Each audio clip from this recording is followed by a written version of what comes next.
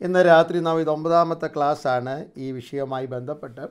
കഴിഞ്ഞ രാത്രി വരെയും നാം പ്രാകാരത്തിൽ തന്നെയാണ് നിന്നുകൊണ്ടിരുന്നത്. സ്തോത്രമലലിയ പ്രാകാരം അതിന്റെ ചുറ്റുമതിൽ മറശീല യാഗപീഠം താമ്രത്തൊട്ടി ഇങ്ങനെയുള്ള വിഷയങ്ങളെക്കുറിച്ചൊക്കെ ആയിരുന്നു കഴിഞ്ഞ എട്ട് ക്ലാസ്സുകൾ നാം ചെയ്തത്. യാഗപ്പോൾ ഇന്ന് രാത്രി മുതൽ അല്ലിയ അടുത്ത തലത്തിലേക്ക് നാം പ്രവേശിക്കുകയാണ്. യാഗപീഠത്തിലെ യാഗാർപ്പണവും തുടർന്ന് താമ്രത്തൊട്ടിയിൽ ഇന്നലെ രാത്രി നാം ചിന്തിച്ച പോലെ കൈകാലുകളുള്ള ശുദ്ധീകരണവും കഴിഞ്ഞ് നാം ഇപ്പോൾ സമാഗന കൂടാരത്തിന്റെ രണ്ടാം ഭാഗത്തിലേക്ക് പ്രവേശിക്കുകയാണ്. അല്ലെങ്കിൽ തിരുനിവാസം എന്ന് പറയുന്ന സ്ഥലത്തേക്ക്. തിരുനിവാസം the dwelling place of God ദൈവം അധിവസിക്കുന്ന സ്ഥലത്തേക്ക്. അതുകൊണ്ട് അതിന് മറ്റേ സ്ഥലത്ത് ദൈവം അധിവസിക്കുന്നില്ല. പഴയ നിയമത്തിന്റെ ആ കോണ്ടക്സ്റ്റ് മനസ്സിലായാൽ ദൈവം കടാക്ഷിക്കുന്ന സ്ഥലമാണ് ദൈവം നോക്കുന്ന സ്ഥലമാണെന്നാൽ ദൈവം ഇരിക്കുന്ന ദൈവം വസിക്കുന്ന ആ സ്ഥലത്തേക്ക് നാം ഇപ്പോൾ പ്രവേശിക്കുകയാണ്. ഇതിനെ തിരുനിവാസം എന്നാണ് ഈ ഭാഗത്തിന് വിളിക്കുന്നത്. പ്രാകാരവും തിരുനിവാസവും. അപ്പോൾ തന്നെ തിരുനിവാസത്തിന് രണ്ട് ഭാഗങ്ങളുണ്ട്. തിരുനിവാസത്തിന് രണ്ട് ഭാഗങ്ങളുണ്ട്. ഒന്ന് വിശുദ്ധ സ്ഥലമാണ്. രണ്ട് അതിപരിശുദ്ധ സ്ഥലമാണ്. ഒന്ന് വിശുദ്ധ സ്ഥലം ഹോളി പ്ലേസ് എന്ന് പറയുന്നു. രണ്ട് അതിപരിശുദ്ധമായ സ്ഥലമാണ്. സ്തോത്രം. പത്ത് മുഴം നീളവും ഒന്നര മുഴം വീതിയുമുള്ള നാൽപ്പത്തെട്ട് പലകകൾ കൊണ്ട് തിരുനിവാസം നിർമ്മിച്ചിരിക്കുന്നത്. ശ്രദ്ധിക്കണം. വിശുദ്ധ സ്ഥലവും അതിവിശുദ്ധ സ്ഥലം ഒന്നായിട്ട് തന്നെയാണ് പണിതിരിക്കുന്നത് കിടക്കുന്നത്. ഒന്നായിട്ട് തന്നെയാണ് പണിതിരിക്കുന്നത്. പിന്നെ പുറപ്പാട് പുസ്തകം ഇരുപത്താറാം അധ്യായം മുഴുവൻ വായിച്ചാൽ ആ തിരുനിവാസത്തിന്റെ പണിയെക്കുറിച്ച് ഇനി ഒരു തിരുനിവാസം ഉണ്ടാക്കണം എന്ന് പറഞ്ഞുള്ള അതിന്റെ പണികൾ എങ്ങനെയാണ് അതിന്റെ മറ എങ്ങനെയാണ് അതിന്റെ നിർമ്മാണം എങ്ങനെയാണ് രീതികൾ എങ്ങനെയാണ് എന്നൊക്കെ മനസ്സിലാകും. അപ്പോൾ തന്നെ പതിനഞ്ചാം വാക്യം മുതൽ വ്യക്തമായി ചിട്ട ചിട്ടയായിട്ട് തിരുനിവാസത്തിന്റെ നിർമ്മാണത്തെക്കുറിച്ച് നാം അവിടെ വായിക്കുന്നുണ്ട്. പ്രാകാരത്തിൽ നിന്ന് വിശുദ്ധ സ്ഥലത്തേക്ക് പ്രവേശിക്കുന്നത് ഒരു കൂടാരവാതിൽ കൂടെയാണ്. ഒരു കൂടാരവാതിൽ കൂടെയാണ്.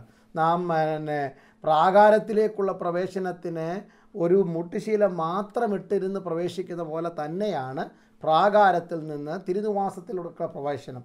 എന്നാൽ തിരുനിവാസത്തിനെ രണ്ടായിട്ട് തിരിഞ്ഞിരിക്കുക അതൊരു വെറും ഒരു കർട്ടൻ ഇട്ടാണ്. ആ കർട്ടനെക്കുറിച്ച് ഒന്നും ഇപ്പോൾ വിശദീകരിക്കുന്നില്ല. അതിപരിശുദ്ധ സ്ഥലത്തെയും വിശുദ്ധ സ്ഥലത്തെയും തമ്മിൽ വേർതിരിച്ചു നിർത്തിയിരിക്കുന്നത് ഒരു മറശീല തിരശീല കൊണ്ടാണ്. പിന്നീട് നാം പുതിയ നിയമത്തിലൊക്കെ വരുമ്പോൾ യേശു തന്റെ ദേഹം എന്ന തിരശീല ചിന്തി ജീവനുള്ള പുതുവഴി ദേവാലയത്തിലെ തിരശീല കൈതൊടാതെ മുകൾ തൊട്ട് അടി വരെ കീറിപ്പോയി എന്നൊക്കെ വായിക്കുന്ന അതിന്റെ ആ ചിന്ത വരുന്ന വിശുദ്ധ സ്ഥലത്തെയും അതിപരിശുദ്ധ സ്ഥലത്തെയും തമ്മിൽ വേർതിരിക്കുന്നത് വെറും ഒരു തിരശീല കൊണ്ടാണ്. അങ്ങനെ ഒരു ഓപ്പൺ സ്പേസ് ആണ് ഒരു കർട്ടൻ ഇട്ടിട്ടുണ്ടെന്ന് മാത്രമേ ഉള്ളൂ. കൂടാരത്തിൽ നിന്ന് അല്ലെങ്കിൽ പ്രാകാരത്തിൽ നിന്ന് തിരുനിവാസത്തിലോട്ട് കയറുവാൻ ഒരു വാതിലുണ്ട്. ആ വാതിലും മറച്ചിരിക്കുന്നത് ഒരു മൂട്ടുശീല കൊണ്ടാണ്. അതിന്റെ വിവരണവും ഈ ഇന്ന് രാത്രിയിലോ ഞാൻ ചെയ്യുവാൻ താല്പര്യപ്പെടുന്നില്ല. നമുക്ക് ആ വിശുദ്ധ സ്ഥലത്തേക്കൊന്ന് പ്രവേശിച്ചിട്ട് അവിടുത്തെ ചില കാര്യങ്ങളെക്കുറിച്ച് അതിന്റെ വിശുദ്ധിയെക്കുറിച്ചും ആ വിശുദ്ധി നമ്മുടെ ജീവിതത്തിൽ എപ്രകാരമാണെന്നും ആ പണികളെക്കുറിച്ചാണ് നമുക്ക് ഈ ദിവസങ്ങളിൽ തുടർന്ന് ധ്യാനിക്കുവാൻ കർത്താവിൽ ആശിക്കുന്നത്. ഞാൻ ആരംഭത്തിൽ ഓർപ്പിച്ച പോലെ ഇതിനെ വിശുദ്ധ സ്ഥലം എന്നാണ് ഇതിന്റെ ഒന്നാം ഭാഗമാണ് നാം ഇപ്പോൾ നിൽക്കുന്നത്. ഇതിനെ വിശുദ്ധ സ്ഥലം എന്നാണ് വിളിക്കുന്നത്. ഇങ്ങനെ വിളിക്കാൻ കാരണം ഇതിനകത്തെ വസ്തുക്കൾ മുഴുവൻ വിശുദ്ധമാണ്. പ്രാകാരം വിശുദ്ധ സ്ഥലമാണ്. എന്നാൽ പ്രാകാരത്തിൽ മൃഗത്തെ കൊണ്ടുവരുന്നുണ്ട് അതിന്റെ ദഹനം നടക്കുന്നുണ്ട് അതിന്റെ വേസ്റ്റുകൾ എടുക്കുന്നുണ്ട്. ദൈവം പ്രസാദിക്കുന്ന സ്ഥലമാണ്. അശുദ്ധിയുടെ പല കാര്യങ്ങൾ അവിടെ ഉണ്ട്. അതെല്ലാം മാറാൻ വേണ്ടിയുള്ളതാണ് യാഗവും ശുശ്രൂഷയും താമ്രത്തൊട്ടിയും കഴുകുന്നതൊക്കെ. എന്നാൽ വിശുദ്ധ സ്ഥലത്ത് യാതൊരു അശുദ്ധിയും പാടുള്ള സ്ഥലമല്ല. ഇതിനകത്തെ വസ്തുക്കൾ മുഴുവൻ പൂർണമായും വിശുദ്ധമാണ്. അർത്ഥം യാഗം കഴിക്കാത്ത ഒരുവനെ താമ്രത്തൊട്ടിയിൽ നിന്ന് ഇന്നലെ ഓർപ്പിച്ചതുപോലെ കൈകാലുകളുടെ പൂർണ ശുദ്ധീകരണം പ്രാപിക്കാത്ത ഒരുത്തനും ഇതിനകത്ത് പ്രവേശനം ഇല്ലവേ ഇല്ല. ഒന്നും കൂടി ആവർത്തിക്കുന്നു. യാഗം കഴിച്ചു നിയമം ചെയ്യാത്ത ഒരുവനോ? താമ്രത്തൊട്ടിയിൽ നിന്ന് മുഖം നോക്കിയും മുഖത്തേലിയ കരിയും പാടും വസ്ത്രത്തിലെ അഴുക്കും കൈയും കാലും നടപ്പും ജീവിതവും ഒന്നും ശരിയാക്കാത്ത ആർക്കും വിശുദ്ധ സ്ഥലത്തേക്ക് പ്രവേശനം സാധ്യമല്ല. അപ്പോൾ തന്നെ വിളിക്കപ്പെട്ട പുരോഹിതന്മാർ മാത്രം പോകുന്ന സ്ഥലമാണ് വിശുദ്ധ സ്ഥലം. അതിനും മേളിലോട്ട് മഹാപുരോഹിതന് മാത്രം ആണ്ടിലൊരിക്കൽ പോകുവാൻ പറ്റുന്ന സ്ഥലമാണ് അതിപരിശുദ്ധ സ്ഥലം. അത് പിന്നീട് നാം സമയം പോലെ ധ്യാനിക്കാം. പുരോഹിതന്മാർക്ക് മാത്രമേ ഈ വിശുദ്ധ സ്ഥലത്ത് പ്രവേശനമുള്ളൂ. അതും അവർ ശുദ്ധീകരണം പ്രാപിച്ച പുരോഹിതന്മാർക്ക് അവർക്ക് ദൈനംദിനം അവിടെ പോകാം. എന്നാൽ വി- അതിപരിശുദ്ധ സ്ഥലത്ത് വർഷത്തിൽ ഒരിക്കലേ പോകാൻ പാടുള്ളൂ. അപ്പോൾ വിളിക്കപ്പെട്ട പുരോഹിത വർഗം മാത്രം പ്രവേശിക്കുന്ന സ്ഥലമാണ് വിശുദ്ധ സ്ഥലം. പ്രിയരെ അകവും പുറവും വിശുദ്ധമാണെങ്കിൽ ഒരുവനെ വിശുദ്ധനെന്ന് വിളിക്കാൻ പറ്റും. പെന്തിക്കോസ്തുകാരെന്ന് വിളിച്ചോ കുഴപ്പമൊന്നുമില്ല. ഞാൻ അതിനകത്ത് അത്ര വലിയ അഭിമാനം ആഡംബരമൊന്നും പറയത്തില്ല. പെന്തിക്കോസ്തുകാരെന്ന് പറയുമ്പോൾ അങ്ങനെ ഒരു മതം വിശുദ്ധ തിരുവഴുത്തിൽ അങ്ങനൊന്നും ഇല്ലല്ലോ പെന്തിക്കോസ്തുകാരെന്ന്. പിന്നെ നമ്മൾ പെന്തിക്കോസ്തിന്റെ അനുഭവം ഉള്ളത് കൊണ്ടാണ് നമ്മളെ പെന്തിക്കോസ്തുകാരെന്നൊക്കെ വിളിക്കുന്നത്. അപ്പോൾ തന്നെ പെന്തിക്കോസ്തിന്റെ അനുഭവം എന്ന് പറയുമ്പോൾ അപ്പോസ്തലപ്രവൃത്തി രണ്ടാം അധ്യായത്തിൽ ഇറങ്ങി വന്ന പരിശുദ്ധാത്മാവിന്റെ ആളത്തെ രൂപത്തിലുള്ള ഹല്ലിയ നമ്മുടെ മേലേക്ക് ഇറങ്ങി വന്ന് അല്ലെങ്കിൽ അവിടെ കൂട്ടുന്ന ജനത്തിന് മേൽ ഇറങ്ങി വന്ന് അവരെല്ലാം അന്യഭാഷയിൽ സംസാരിച്ചു. അവരുടെ ജീവിതത്തിലൊരു മാറ്റം ഉണ്ടായി. പ്രകടമായ മാറ്റം ഉണ്ടായിരുന്നു. റാഡിക്കൽ ട്രാൻസ്ഫോർമേഷൻ അതുള്ളത് കൊണ്ട് വേണമെങ്കിൽ നമുക്ക് അവരെ പെന്തിക്കോസ്തുകാരെന്ന് വിളിക്കാം. അത് നമ്മുടെ ജീവിതത്തിൽ ഉണ്ടെങ്കിൽ നമ്മളെയും വിളിക്കാം പെന്തിക്കോസ്തുകാരെന്ന്. സ്തോത്രം. വിശുദ്ധ തിരുവഴുത്തിൽ അങ്ങനെ പെന്തിക്കോസ്തുകാരൻ നമ്മളെ നാട്ടിൽ ക്രൈസ്തവ സമൂഹത്തിൽ നിന്ന് നാം വ്യത്യസ്തരാണെന്ന് കാണിക്കാൻ വേണ്ടി നാം എടുത്ത പേരായിരിക്കാം പെന്തിക്കോസ്തുകാരൻ പെൻഡക്കോസ്റ്റൽ അല്ലെങ്കിൽ അനുഭവങ്ങൾ ഈ രാജ്യത്തു നിന്നും വെസ്റ്റേൺ കൾച്ചർ എന്നൊക്കെ തുടങ്ങി നമ്മുടെ പെൻഡക്കോസ്റ്റൽ എക്സ്പീരിയൻസ് ഉള്ളവർ അനുഭവം എന്ന് പറയുമ്പോൾ അല്ലല്ല ആ അനുഭവം അല്പം കൂടെ ആഴത്തിൽ നമുക്ക് രൂപാന്തരം ഉണ്ടാക്കിയില്ലെങ്കിൽ നമ്മൾ ഈ പെന്തിക്കോസ്തുകാരെന്ന് പറഞ്ഞിട്ടൊന്നും വലിയ അർത്ഥമൊന്നുമില്ല. അപ്പം അകവും പുറവും ഒരുപോലെ വിശുദ്ധനായിരിക്കണം വിശുദ്ധി എന്ന് പറയണമെങ്കിൽ. ഇപ്പോൾ വിശുദ്ധന്മാർ അകത്ത് പ്രവേശിക്കുന്ന പുരോഹിതന്മാർ നമ്മൾ പുരോഹിതന്മാരാണല്ലോ അതുകൊണ്ട് ഇനി ഇത് ആവർത്തിക്കുന്നില്ല. ഒരു നാലഞ്ച് പ്രാവശ്യം ഞാൻ കഴിഞ്ഞ ദിവസങ്ങളിൽ ആവർത്തിച്ചു നമ്മൾ അന്ധകാരത്തിൽ നിന്ന് വിളിക്കപ്പെട്ട പുരോഹിതന്മാരാണ് പുരോഹിത വർഗമാണ്. പുതിയ നിയമത്തിലെ ശുശ്രൂഷകൾ നാമാണ് ചെയ്യുന്നത്. പുതിയ നിയമത്തിലെ ആരാധന അർപ്പകർ നാമാണ്. പുതിയ നിയമത്തിലെ എല്ലാം നാമാണ് ചെയ്യേണ്ടത്. അവരവരെ ദൈവം കൃപയ്ക്കനുസരിച്ച് വിളിക്കനുസരിച്ച് ഓരോ ശുശ്രൂഷ ഏൽപ്പിച്ചിട്ടുണ്ടെന്ന് മാത്രമേ ഉള്ളൂ. നാം എല്ലാവരും പുരോഹിത വർഗമാണ്. അപ്പോൾ ആരാധന അർപ്പിക്കുവാൻ അല്ലെങ്കിൽ വിധി വിളിക്കപ്പെട്ട പുരോഹിത വർഗം ആ വിശുദ്ധ സ്ഥലത്തോട്ട് കയറുമ്പോൾ അവന്റെ വിശുദ്ധിയുടെ മാനദണ്ഡം അല്പം കൂടെ വലുതാണ്. അപ്പോൾ പുതിയ നിയമ വിശുദ്ധന്മാർ വിളിക്കപ്പെട്ട വിശുദ്ധന്മാർ ദൈവമക്കളെ നമ്മുടെ വിശുദ്ധി അല്പം കൂടെ നമ്മ എല്ലാവരെക്കാട്ടും മുന്നിലാണ്. അതുകൊണ്ടാണ് നമ്മളെ പെന്തിക്കോസ്തുകാർ വിശുദ്ധന്മാരെന്നൊക്കെ അറിയപ്പെടുന്നത്. അപ്പോൾ തന്നെ വിശുദ്ധി അകത്തും പുറത്തും ഉണ്ടായിരിക്കണം. പുറമേയുള്ള ശുദ്ധീകരണമാണ് നാം പലപ്പോഴും ആഗ്രഹിക്കുന്നത്. നന്നായി കുളിച്ച് നന്നായി ഡ്രസ്സൊക്കെ ചെയ്ത് നന്നായി സംസാരിച്ച് നല്ല കാഴ്ചപ്പാടോടെ. വെരി പ്രസന്റബിൾ ബിഫോർ പീപ്പിൾ ആൾക്കാരുടെ മുമ്പാകെ നന്നായി അണിഞ്ഞൊരുങ്ങെന്നൊക്കെ പറയത്തില്ല. അണിഞ്ഞൊരുങ്ങി വരികയാണ്. പക്ഷെ ഉള്ളും കൂടെ പുറമെയുള്ള ഞാൻ ആ ഒരുക്കത്തെക്കുറിച്ചല്ല പറയുന്നത്. ആ പുറമെയുള്ള ഒരുക്കത്തിന് എടുക്കുന്ന സമയത്തിന്റെ ഒരു പത്തിലൊന്ന് സമയം നാം ഒരു ആന്തരിക വിശുദ്ധീകരിക്കെടുത്തിരുന്നെങ്കിൽ നമ്മുടെ ജീവിതത്തിന്റെ നിലയും നിലവാരവും മാറി മറിഞ്ഞേനെ പുറമേയുള്ള വിഷയത്തിന് നാം ചിലവാക്കുന്ന ആഹാരം കഴിക്കാൻ നിങ്ങൾ തന്നെ ആലോചിച്ച് നോക്കിയാട്ട് ഒരു ദിവസം എത്ര സമയമാണ് ആഹാരം പാചകം ചെയ്യാൻ ഒരു സമയം? ഇനി വേണ്ട വാങ്ങിക്കാൻ പോയാലും വാഹനത്തിൽ പോകണം ഓർഡർ കൊടുക്കണം അവിടെ നിൽക്കണം വാങ്ങണം പേ ചെയ്യണം കൊണ്ടുവരണം കഴിക്കണം. സമയം മനസ്സിലായാലും ഇതുപോലെ തന്നെ അല്ലെങ്കിൽ കുക്ക് ചെയ്യാൻ പാചകം ചെയ്യാനുള്ള സമയം സാധനം വാങ്ങിച്ചുകൊണ്ട് വരണം കുക്ക് ചെയ്യണം. അത് പാചകം ചെയ്യണം അത് ഇരുന്ന് കഴിക്കും. ചിലർ വെട്ടി വിഴുങ്ങും ചിലർ ഇരുന്ന് കഴി കുറച്ച് നേരം സമയം എടുത്തിരുന്ന് കഴിക്കും. അങ്ങനെയൊക്കെയുള്ള അറിയാം. ഒരു മൂന്ന് നേരമെങ്കിലും മിനിമം കഴിക്കുന്നവരാണല്ലോ മിനിമം ആ അത്രയും സമയമൊക്കെ ഒന്ന് കൂട്ടിക്കഴിഞ്ഞാൽ ചുരുക്കം പറഞ്ഞാൽ അല്ലെങ്കിൽ ആഹാരത്തിന് വേണ്ടി അധ്വാനിക്കുന്ന ഒരു സമയം ആഹാരം പാചകം ചെയ്യുന്ന ഒരു സമയം ആഹാരം കഴിക്കുന്ന ഒരു സമയം അത് ദഹിക്കാൻ വേണ്ടി കിടന്ന് ഉറങ്ങുന്ന സമയം. ഇങ്ങനെ സത്യത്തിൽ ആഹാരത്തിന് വേണ്ടിയുള്ളതാണ് നമ്മുടെ ഇരുപത്തിനാല് മണിക്കൂറിലെ നല്ലൊരു ശതമാനം ജീവിതം. എട്ട് മണിക്കൂർ ആഹാരത്തിന് വേണ്ടി അധ്വാനിക്കുന്നു. അടുത്ത എട്ട് മണിക്കൂർ ആഹാരം ഉണ്ടാക്കാനും ആഹാരം കഴിക്കാനും അടുത്ത എട്ട് മണിക്കൂർ ആഹാരം ദഹിക്കാനും. ഇങ്ങനെയൊക്കെ വരുമ്പോഴാണ് വിശ്രമവും നമ്മുടെ എന്റർടൈൻമെന്റും എല്ലാം ഈ കഴിച്ച് ദഹിക്കാൻ വേണ്ടിയുള്ളതാണ്. അല്ല ഇനി ദഹനം കുറവാണെങ്കിലാണ് പോയി ജിമ്മിലൊക്കെ പോയി ഒക്കെ അല്പം കൂടെ ശക്തിയാട്ടത്തും ദഹിക്കാൻ വേണ്ടി നമ്മൾ ഉത്സാഹിക്കുന്നത്. ഞാൻ പറഞ്ഞു വന്നത് അപ്പോൾ പുറമേയുള്ള കാര്യങ്ങൾക്ക് വേണ്ടി വിശുദ്ധിക്കും ഒരുക്കത്തിനും പുറമെയുള്ള ശരീരത്തിന്റെ മെച്ചമായ അവസ്ഥയ്ക്കും വേണ്ടി ധാരാളം സമയം ചെലവഴിക്കുന്നവരാണ് നാം. അകമയുള്ള വിഷയമാണ് അല്പം കൂടെ നാം പ്രാധാന്യം കൊടുക്കേണ്ടത്. അതെ നന്നായിരിപ്പാൻ ഉള്ളു നന്നായിരിപ്പാൻ അകത്ത മനുഷ്യൻ ശക്തിപ്പെടുവാൻ. അകത്ത മനുഷ്യന്റെ ശുദ്ധീകരണം അന്തർഭാഗത്തിലെ സത്യമല്ലോ നീ ഇച്ഛിക്കുന്നത്. അന്തരംഗത്തിൽ നീ എന്നെ ജ്ഞാനം ഗ്രഹിക്കണമേ. ഉള്ളു നന്നായിരിക്കണം. ഉള്ളു നന്നായിരിക്കണം. ഹൃദയത്തിൽ നിന്നാണ് അശുദ്ധി വരുന്നത് എന്ന് യേശു നമ്മെ പഠിപ്പിച്ചല്ലോ. സ്തോത്രം. അപ്പം യേശുവിനെ ഈ പുറം വിശുദ്ധി മാത്രമുള്ളവരെ കർത്താവിന് വലിയ വിരോധമാണ് പുറമെ വിശുദ്ധരായിരിക്കണം ഏറ്റവും നന്നായിരിക്കണം. അതുകൊണ്ടാണ് നാം കൈ കഴുകുന്നതും നമ്മളല്ലേ കാൽ കഴുകുന്നതും ശുദ്ധീകരണം പ്രാപിക്കുന്നതും. പക്ഷെ പുറം വിശുദ്ധി മാത്രമേ ഉള്ളെങ്കിൽ വിശുദ്ധ തിരുവഴുത്തിൽ ഏറ്റവും കൂടുതൽ വിമർശിക്കപ്പെട്ട വിഭാഗമാണ് കപടഭക്തരെന്ന് പറയുന്നത്. പലപ്പോഴും ആലയത്തിൽ നാം അത് പറഞ്ഞിട്ടുണ്ടെങ്കിലും ഈ വിഷയവുമായി ബന്ധപ്പെട്ട് വിശുദ്ധന്മാർക്ക് മാത്രമേ വിശുദ്ധ സ്ഥലത്ത് പ്രവേശനമുള്ളൂ.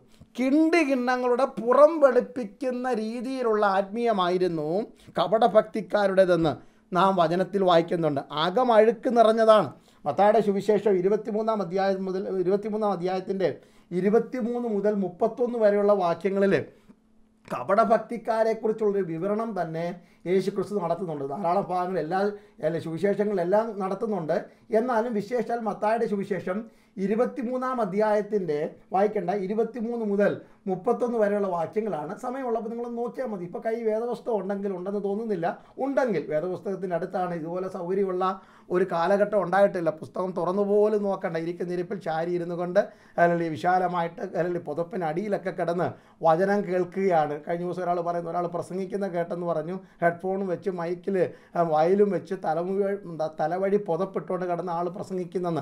കാരണം അങ്ങനെ ഒരാൾ ഇപ്പം ഇതിനൊക്കെ എല്ലാത്തിനും പല വശങ്ങളുണ്ടല്ലോ. അതിനെക്കുറിച്ചൊന്നുമല്ല. അപ്പം ഇവിടെ പറയുന്നത് സ്തോത്രം. മത്താടെ സുവിശേഷം ഇരുപത്തിമൂന്നാം അധ്യായത്തിൽ യേശു കവടഭക്തിക്കാരെ ശാസിക്കുകയാണ്. സ്തോത്രം. വളരെ ശക്തമായ ഭാഷയിലാണ് യേശു പറയുന്നത്. അവരെക്കുറിച്ച് പറയുന്നത് ഇവരൊക്കെ അങ്ങാടിയിൽ വന്ദനവും മനുഷ്യർ റബി എന്നൊക്കെ വിളിക്കാൻ വേണ്ടിയൊക്കെ അവർക്ക് വലിയ താല്പര്യമാണ്. അപ്പം ഇനി ഇരുപത്തിമൂന്നാം വാക്യത്തോടെ യേശു ഇങ്ങനെ പറഞ്ഞത് കപടഭക്തിക്കാരെ അല്ലെങ്കിൽ ശാസ്ത്രിമാരും പരീശന്മാരുമായുള്ള കപടഭക്തിക്കാർ. അല്ലാതെ എല്ലാ ശാസ്ത്രിമാരും എല്ലാ പരീശന്മാരും കപടഭക്തിക്കാരായിരുന്നില്ല. അതുകൊണ്ടാണ് യേശു അങ്ങോട്ട് പറഞ്ഞത് കപടഭക്തിക്കാരായ ശാസ്ത്രിമാരും പരീശന്മാരുമേ അപ്പോൾ എന്നെ വിളിച്ചാലും നിങ്ങളെ വിളിച്ചാലും അങ്ങനെ ഒരു അഡ്ജക്റ്റീവും കൂടെ വിശേഷണ പദവും കൂടെ ഇപ്പുറത്ത് ദൈവം ചേർത്താൽ കഷ്ടപ്പാടാണ്. നിങ്ങൾക്ക് ഹാ കഷ്ടം. നിങ്ങൾ സകലത്തിന് ഇന്നലെ ഞാൻ ഓർപ്പിച്ചതാണ് സകലത്തിനും പതാരം കൊടുക്കുന്നവരാണ്. എന്നാൽ ന്യായം കരുണ വിശ്വസ്തത ഇങ്ങനെ ന്യായപ്രമാണത്തിലെ കനമേറിയവ ത്യജിച്ച് ചെയ്യുന്നു കനമേറിയവ ത്യജിച്ച് കളയും. Neglecting the weightier things of the law ഹലിയ they are majoring on the minors കൊച്ചു കാര്യങ്ങളിൽ അവർക്ക് മേജർ ചെയ്യുന്നത്. എന്നാൽ പ്രധാനപ്പെട്ട കാര്യങ്ങൾ മനഃപൂർവം മറന്നു കളയുന്നു. മറ്റേത് വേണ്ട എന്ന് യേശു പറഞ്ഞില്ല. നിങ്ങൾ ചതകുപ്പയ്ക്കും ജീരകത്തിനും തുളസിക്കും മല്ലിക്കും ഒക്കെ ദശാംശം കൊടുത്തോ കൊടുക്കാതിരിക്കരുത്. അതിനേക്കാൾ ഇതിനും കൂടെ പ്രാധാന്യം അതും ഇതും ചെയ്യണം. ന്യായപ്രമാണത്തിലെ കനമേറിയ കാര്യങ്ങൾ നിങ്ങൾ ചെയ്യുവാൻ ബാധ്യസ്ഥരാണ്. അത് യേശു കവടഭക്തിക്കാട് പറയണം വിശുദ്ധി എന്ന് പറയുന്നത് അകത്തെ വിശുദ്ധിയാണ്. പിന്നെ നിങ്ങൾ ചെയ്യുന്നത് കൊതുകിനെ നിങ്ങൾ അരിച്ചെടുക്കും ഒട്ടകത്തെ വിഴുങ്ങിക്കളയും. അതാ ഇരുപത്തിമൂന്നിന്റെ ഇരുപത്തിനാല് ഇരുപത്തിമൂന്ന് വായിക്കുന്നത്. കൊതുകിനെ കിട്ടിയാൽ നിങ്ങൾ അരിച്ചെടുക്കും. കഷ്ടപ്പെട്ട് കഷ്ടപ്പെട്ട് കൊറോണ വൈറസിനെ പിടിക്കാൻ വേണ്ടിയാണ് നമ്മൾ ഈ നടക്കുന്നത്. മാസ്ക് ഒക്കെ വെച്ച് അത് അങ്ങനെങ്കിലും അകത്തോട്ട് കയറാൻ വേണ്ടി. പക്ഷേ ഒട്ടകത്തിനെയും വലിയ വലിയ ഇതിനെയും ഒരു കുഴപ്പമില്ല സ്ട്രെയിൻ ചെയ്തു നമ്മൾ ദയവായിട്ട് വിടും. ഇങ്ങനെയുള്ള നല്ല വലുത് വിഴുങ്ങുകയും ചെയ്യുന്ന സ്വഭാവമാണ്. ഇരുപത്തഞ്ച് ഇരുപത്താറും വാക്യത്തിൽ പറയുന്നത് നിങ്ങൾ പുറമേയുള്ള വിശുദ്ധിയാണ് ഏറ്റവും കൂടുതൽ ആഗ്രഹിക്കുന്നത്. വെള്ളതേറ്റ ശവക്കല്ലറുകളാണ്. പുറമേ അഴകായി ശോഭിക്കുന്നെങ്കിലും അകമേ ചത്തവരുടെ അസ്ഥികളും മാംസങ്ങളും കൊണ്ട് നിറഞ്ഞിരിക്കുകയാണ്. അതുകൊണ്ട് മനുഷ്യർക്ക് എന്ത് തോന്നുമെന്ന് ഓർത്തുകൊണ്ടാണ് നമ്മൾ കാര്യങ്ങൾ ചെയ്യുന്നത്. നീതിമാന്മാരായിരിക്കുവാനാണ് നോക്കുന്നത്. പക്ഷേ അകം മുഴുവൻ കപടഭക്തി ഇതുള്ളതാണ്. അതുകൊണ്ട് ഇന്ന് രാത്രി ജീവിച്ചിരിക്കുമ്പോൾ മറ്റുള്ളവരെ ബഹുമാനിക്കുകയും മറ്റുള്ളവർക്ക് വേണ്ട മാനം കൊടുക്കുകയും ചെയ്യാതെ അവർ മരിച്ചു കഴിയുമ്പോൾ കല്ലറ പണിയുന്നവരായി മാറുന്നു. ഇപ്പോൾ നോക്കാം കവടഭക്തി എന്ന് പറയുന്നത് ജീവിതയാത്രയിൽ ഉപായ രൂപേണ പ്രാർത്ഥിക്കും. വിധവ സമയം കിട്ടിയാൽ വിധവമാരുടെ വീടുകളെ വീഴും എന്ന് പറഞ്ഞാൽ പ്രാർത്ഥിക്കുമ്പോൾ കർത്താവ് ആ ദാസിനെ അനുഗ്രഹിക്കണമേ ദാസിയെ അനുഗ്രഹിക്കണമേ കർത്താവിന്റെ കര ഉണ്ടായിരിക്കണമേ അവസരം കിട്ടുമ്പോൾ അവരെക്കുറിച്ച് അവരെ വിഴുങ്ങുന്ന സ്വഭാവം. ഇങ്ങനെയൊക്കെ നമ്മുടെ ഇടയിലുണ്ടെന്നേ അല്ലല്ലുയ്യ നമ്മുടെ സഭയിലുണ്ടോ എന്ന് ഞാൻ പറഞ്ഞില്ല. നമ്മുടെ ഇടയിൽ എന്ന് പറയുമ്പോൾ നമ്മളൊരു മൊത്തം ഒരു പ്രസ്ഥാനമാണ്. നമ്മളൊരു സംഘടനയാണ് ഒരു സഭാ കൂട്ടമാണ്. ഇതിന്റെ ഇടയിൽ ഇങ്ങനെയൊക്കെയുണ്ട്. നമ്മുടെയും എന്റെയും നിങ്ങളുടെയും ജീവിതത്തിലൊക്കെ ഇങ്ങനെയൊക്കെയുള്ള സ്വഭാവങ്ങളുണ്ട്. അപ്പോൾ അകത്ത വിശുദ്ധിയാണ് ദൈവം ഊന്നൽ കൊടുത്തത്. നമുക്ക് അറിയാവുന്ന പഴയ നിയമത്തിലെ ചരിത്രമല്ലേ?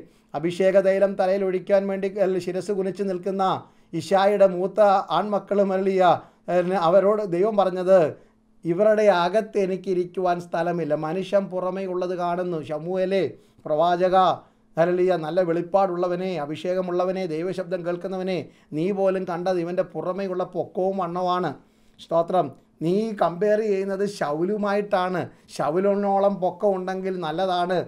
ഗോലിയാത്തിനോളം പൊക്കം ഉണ്ടെങ്കിൽ നല്ലതാണ്. പക്ഷേ അകത്തിരിക്കാൻ സമയമില്ല. ഹോവയോ ഹൃദയങ്ങളെ പരിശോധിക്കുന്നു. ദൈവത്തിന്റെ അല്ലല്ലേ ഹൃദയമായി മാറുന്നവരില്ല. അപ്പം വിശുദ്ധി അകത്തും കൂടെ ഉണ്ടായിരിക്കണം. അതുകൊണ്ടാണല്ലോ സങ്കീർത്തനക്കാരൊക്കെ പ്രാർത്ഥിച്ചത്. നമുക്കറിയാവുന്ന വാക്യം യഹോവേ എന്റെ വായിലെ വാക്കുകളും അപ്പോൾ തന്നെ എന്റെ ഹൃദയത്തിലെ ധ്യാനവും ഒരുപോലെ. നാക്കും ധ്യാനവും ഒരുപോലെ പ്രസാദമായിരിക്കണം. നാക്ക് നന്നാകണമെങ്കിൽ ഹൃദയം നന്നായിരിക്കണം. സ്തോത്രം. രണ്ട് അല്ലിയ വ്യസനത്തിലുള്ള മാർഗം എന്നിലുണ്ടോ എന്ന് നോക്കി. എന്നെ ശാശ്വത മാർഗത്തിൽ നടത്തണമേ എന്ന് പ്രാർത്ഥിക്കുന്നു. സ്തോത്രം. അപ്പോൾ നമ്മൾ വിശുദ്ധ സ്ഥലത്തോട്ട് പ്രവേശിക്കുകയാണ്. വിശുദ്ധന്മാരായിട്ട് അങ്ങോട്ട് പ്രവേശിക്കണം. ഇവിടെ പ്രധാനമായും മൂന്ന് വസ്തുക്കളാണ് വിശുദ്ധ സ്ഥലത്ത് ഉള്ളത്. പ്രധാനമായും മൂന്ന് വസ്തുക്കളാണുള്ളത് ഒന്ന് ഒരു നിലവിളക്കുണ്ട്. ലാം സ്റ്റാൻഡ് നിലവിളക്കുണ്ട്. രണ്ട് കാഴ്ചയപ്പം വെക്കുന്ന ഒരു ഷോബ്രഡ് ടേബിൾ കാഴ്ചയപ്പം വെക്കുന്ന ഒരു മേശയുണ്ട്. മൂന്ന് ഒരു ധൂപപീഠമുണ്ട്. ആൾട്ടർ ഓഫ് ഇൻസെൻസ് എന്ന് പറയുന്ന ധൂപപീഠമുണ്ട്. ഇങ്ങനെ മൂന്ന് പ്രധാന വസ്തുക്കളാണ് ഈ അല്ലെങ്കിൽ പ്രധാന വസ്തുക്കൾ എന്ന് പറഞ്ഞാൽ ഇത് മാത്രമാണെന്ന് വേണേലും പറയാം. ഈ മൂന്ന് വസ്തുക്കളാണ് ഇതിനകത്ത് ഉള്ളത്. അപ്പോൾ ഇന്ന് രാത്രി നാം അതിൽ ഒന്നാമത്തേതാണ് ചിന്തിക്കാൻ പോകുന്നത്. ഇനിയുള്ള അല്പസമയം നാം അത് ധ്യാനിക്കാൻ പോവുകയാണ്. ഒന്നാമത്തെ നിലവിളക്കിനെ കുറിച്ചാണ് നാം വായിക്കാൻ പോകുന്നത് പഠിക്കാൻ പോകുന്നത്. നമ്മുടെ അറിവിന് വേണ്ടി വായിക്കാം പുറപ്പാട് പുസ്തകം ഇരുപത്തി അഞ്ചാം അധ്യായം. അതിന്റെ മുപ്പത്തൊന്ന് തൊട്ട് നാൽപ്പത് വരെ അതെല്ലാം വായിക്കണ്ട. മുപ്പത്തൊന്നും മുപ്പത്തിരണ്ടും നാൽപ്പതും ഈ മൂന്ന് വാക്യം മാത്രം വായിക്കാം. പുറപ്പാട് ഇരുപത്തഞ്ച് മുപ്പത്തൊന്ന് മുപ്പത്തിരണ്ട് നാൽപ്പത് വാക്യങ്ങൾ.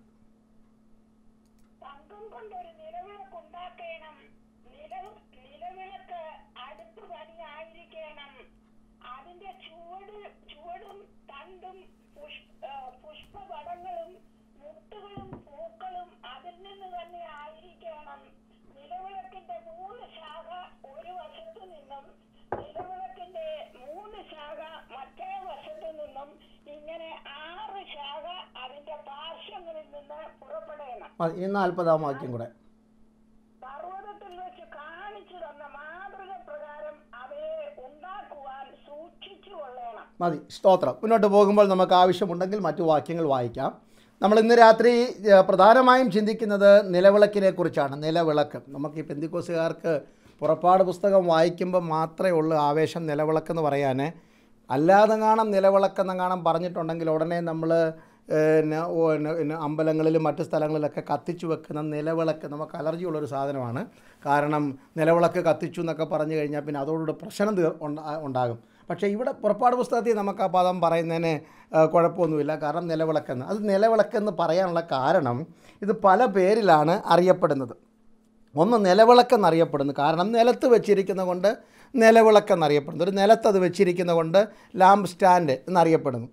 രണ്ട് ഇതിനെ തങ്കവിളക്കെന്ന് വിളിക്കും. തനി തങ്കം കൊണ്ട്. അതിന്റെ മുപ്പത്തി ഒമ്പതാം വാക്യത്തിലുണ്ട് ഒരു താലന്ത് പൊന്നുകൊണ്ടാണ് വിളക്കിനും അതിനുമായി ബന്ധപ്പെട്ട വസ്തുക്കൾ ഉണ്ടാക്കിയിരിക്കുന്നത്. ഒരു താലന്ത് പൊന്ന് അമ്പത് കിലോ സ്വർണം കൊണ്ടാണ് ഈ തനി ഈ പിന്നെ തങ്ക വിളക്ക് ഉണ്ടാക്കിയിരിക്കുന്നതുകൊണ്ട് ഇതിനെ തങ്ക വിളക്കെന്ന് വിളിക്കും ഗോൾഡൻ ലാമ്പെന്ന് വിളിക്കും. മൂന്നാമത് ഇതിനെ കവരവിളക്കെന്ന് വിളിക്കും. കവരവിളക്ക്. പല കവരങ്ങൾ അല്ലെങ്കിൽ ശിഖരങ്ങൾ ബ്രാഞ്ച് ഉള്ളതിനാലാണ് അത് നമുക്ക് നോക്കണം. ഇതിനെ കവരവിളക്കെന്ന് വിളിക്കുന്നത്. നാലാമത് ഇതിനെ വിളക്ക് തണ്ടെന്ന് വിളിക്കുന്നുണ്ട്. കാരണം നടുക്കൂടെ ഒരു വലിയ തണ്ടും അതിനാറ് കവരങ്ങൾ ഇടത്ത് ഒരു വശത്ത് മൂന്നും മറുവശത്ത് മൂന്നും നടുക്കൊരു തണ്ടുമായി.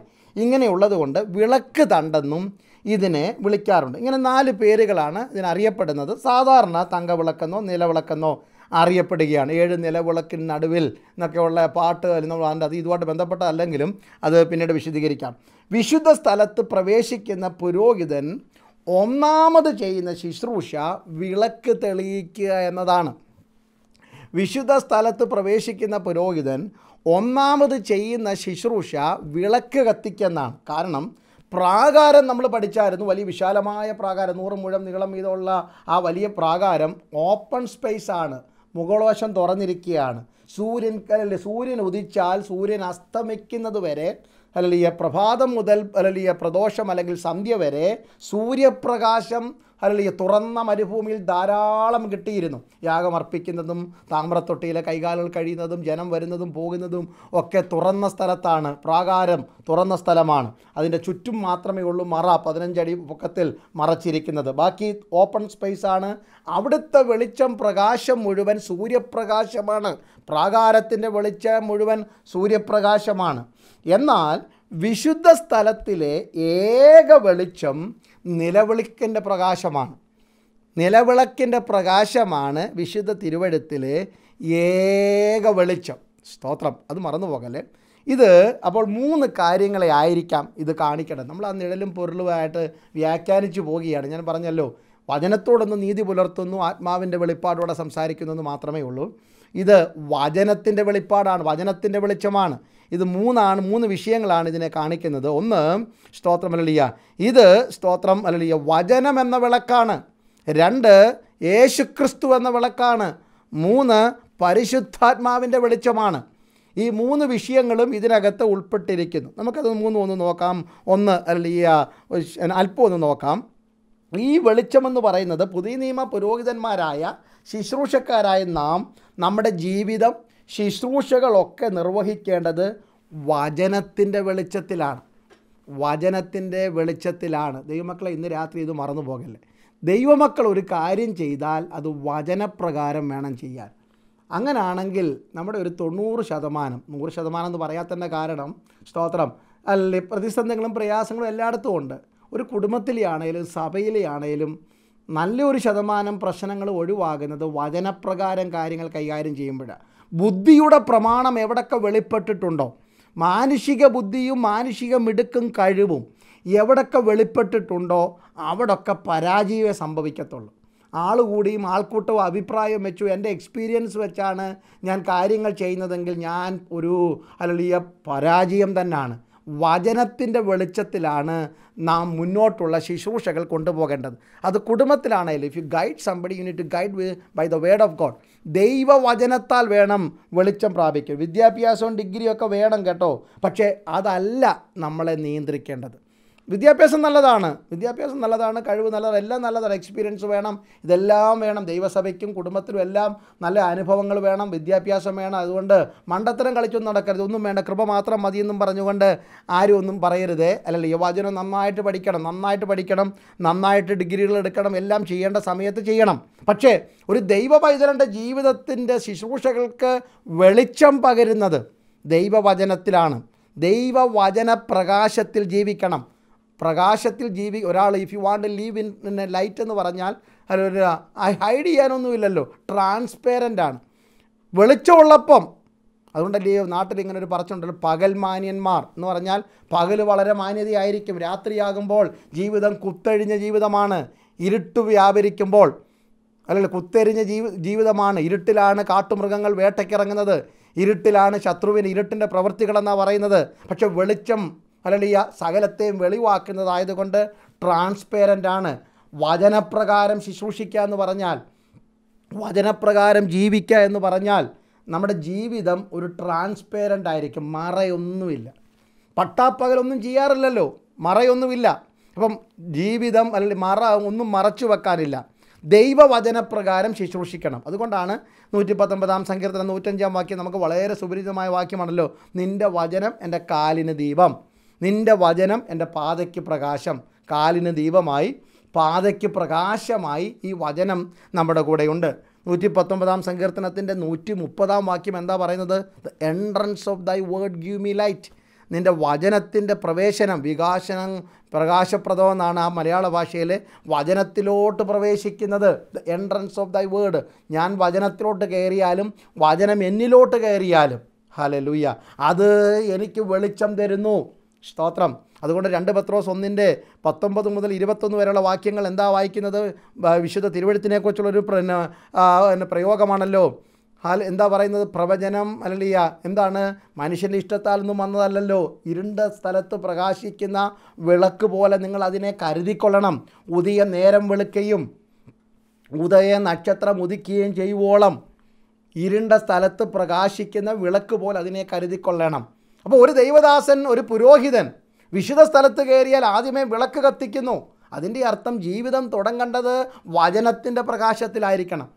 രാവിലെ എഴുന്നേറ്റിട്ട് ദൈവമക്കളെ ഈ വചനത്തിന്റെ വചനം ധ്യാനിക്കുക എന്നൊക്കെ പറയുമ്പോൾ നമ്മൾ ഈ പുതിയ നിയമത്തിലായതുകൊണ്ടാണ് നമ്മൾ ഇരുപത്തൊന്നാം നൂറ്റാണ്ടിലായതുകൊണ്ടാണ് നമുക്ക് വേദപുസ്തകം എഴുതപ്പെട്ട വേദപുസ്തകം കയ്യിൽ അതിന്റെ കൺകോഡൻസോ അല്ലെങ്കിൽ റെഫറൻസ് ബൈബിളുകളോ ഒത്തുവാക്യമോ എല്ലാം നമുക്കുണ്ട്. ഈ തന്നെ ഈ അപ്പോസ്തലന്മാരൊക്കെ ന്യായപ്രമാണ പുസ്തകങ്ങൾ കുറച്ച് ചുരുളല്ലേ അവർക്കുണ്ടായിരുന്നുള്ളൂ? ഇനി അതിനു മുമ്പ് അബ്രഹാമും ഇസഹാക്കും യാക്കോബും മോശയ്ക്ക് മുമ്പ് വരെയുള്ളവർ അവർക്ക് എവിടെയായിരുന്നു പുസ്തകം? അപ്പോഴും അവർ വചനം വായിക്കുകയല്ലായിരുന്നു? അവർ വചനം ധ്യാനിക്കുകയല്ലായിരുന്നു? അപ്പോൾ എന്തായിരിക്കാം അതിന്റെ അർത്ഥം?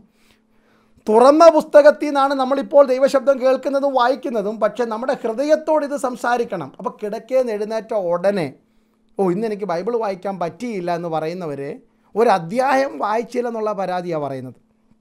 കുഞ്ഞുങ്ങളോട് നമ്മൾ ചോദിക്കുന്നു മോനെ did you read the Bible Bible വായിച്ചോടാ. അപ്പോൾ ഒരു അധ്യായം വായിച്ചോ എന്നാണ് നമ്മൾ അർത്ഥമാക്കുന്നത്.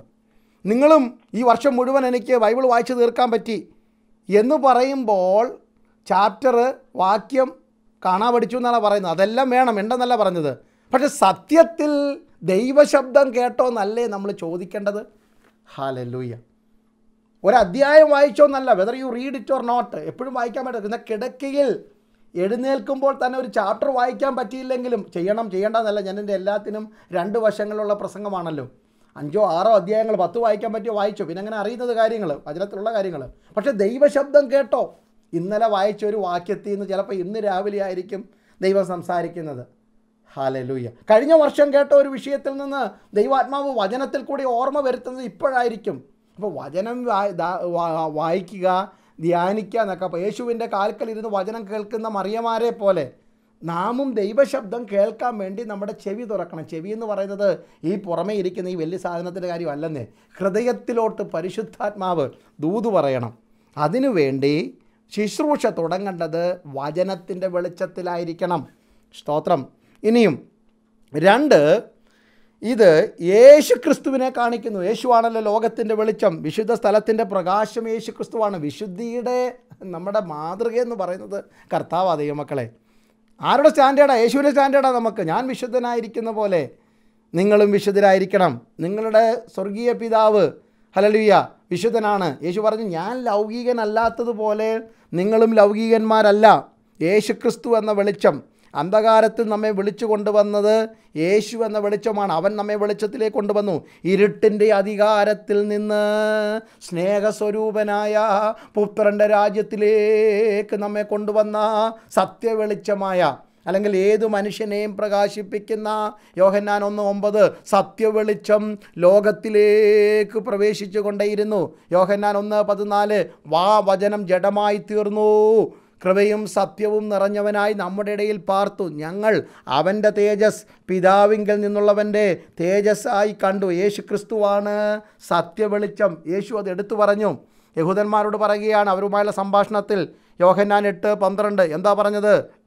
ഞാൻ ലോകത്തിന്റെ വെളിച്ചമാകുന്നു. എന്നിൽ നടക്കുന്നവൻ വിശ്വസിക്കുന്നവൻ ഇരുളിൽ നടക്കാതെ ജീവന്റെ വെളിച്ചത്തിൽ നടക്കും. തിമത്യോസിന്റെ ലേഖനത്തിൽ പൗലോസ് എന്താ പറഞ്ഞത്? ഒന്ന് തിമത്യോസ് ആറ് പതിനാറ്. താൻ മാത്രം അമർത്യതയുള്ളവൻ അടുത്തുകൂടാത്ത വെളിച്ചത്തിൽ വസിക്കുന്നവൻ. താൻ മാത്രം അമർത്യതയുള്ളവൻ അടുത്തുകൂടാത്ത വെളിച്ചത്തിൽ വസിക്കുന്നവൻ. അടുത്തുകൂടാത്ത വെളിച്ചത്തിൽ വസിക്കുന്നവനാണ് കർത്താവ്. സ്തോത്രം. ഒന്ന് യോഹന്നാൻ ഒന്ന് രണ്ട് വാക്യം കൂടെ വായിച്ചു. യോഹന്നാന്റെ ഒന്നാം ലേഖനം ഒന്നാം അധ്യായം അതിന്റെ അഞ്ചും ഏഴും വാക്യം. യോഹന്നാൻ ഒന്നിന്റെ അഞ്ചും ഏഴും